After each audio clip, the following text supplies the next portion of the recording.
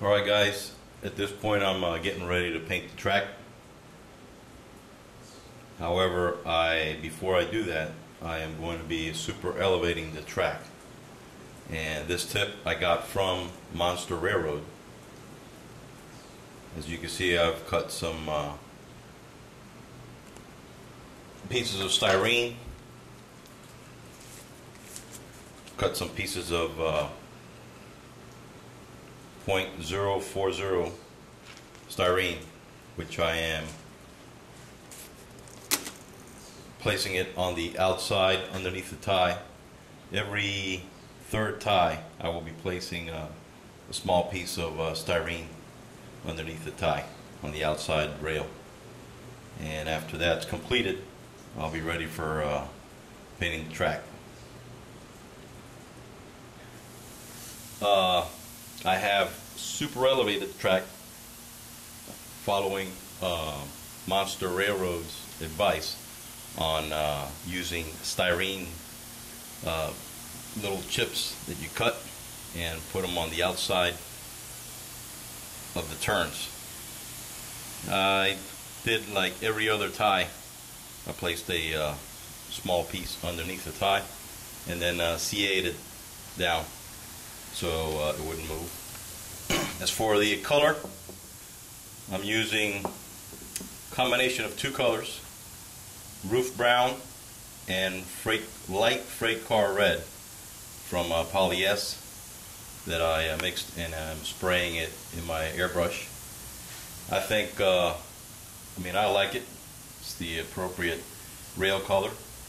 I will shoot one coat of this on the track and then uh, afterwards from uh, a top down angle I'll shoot grimy black to get a little bit on the ties but not so much on the side of the rail. The side of the rail should stay this uh, brownish reddish color. Okay as you can see uh, the track has been painted the brownish mixture color and I have used a uh, razor blade and basically scraped off the top of the uh, rails uh, to get it cleaned somewhat after the paint is dried a little bit. Now I'll go over it with a bright boy and get the top of the rails shiny again. I did mask off the points, the point contacts, and the frogs. I used a uh, plastic cup just to protect my uh, little dwarf signal here. There's a good shot of the dwarf signal on its base, the little tube, and that just plugs right into the hole. I used a uh, cup to protect it while I was spray painting. And still have some of this stuff to get off with the razor blade like that. But there's a difference track painted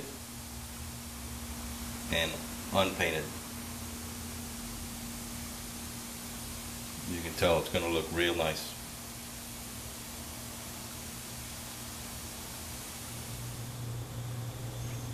Alright, this is grimy black Polly-S once the track has been painted uh, the brown color, excuse me, I'll go over it from a high angle straight down, not sideways, but straight down on the track and give it a uh, light mist of the of the black.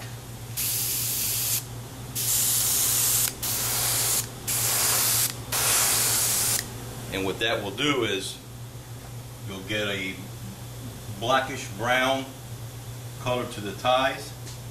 However, if done right, the rail, rail side should still stay uh, rusty brown or a, uh, a darker uh, brown, brown reddish color.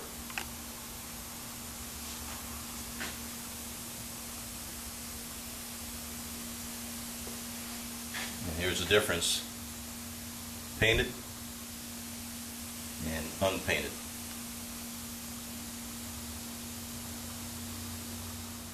Looks pretty good compared to uh, the stock track.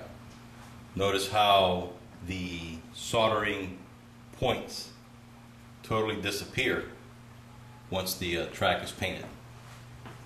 Can't see, uh, can't see them anymore.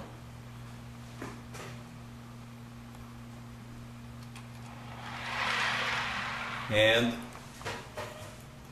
you can probably see the uh, super elevated track here.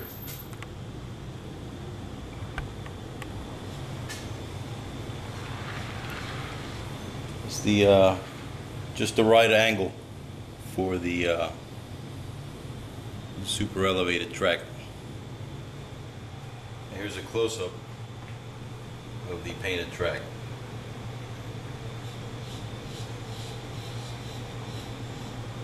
Looks real nice.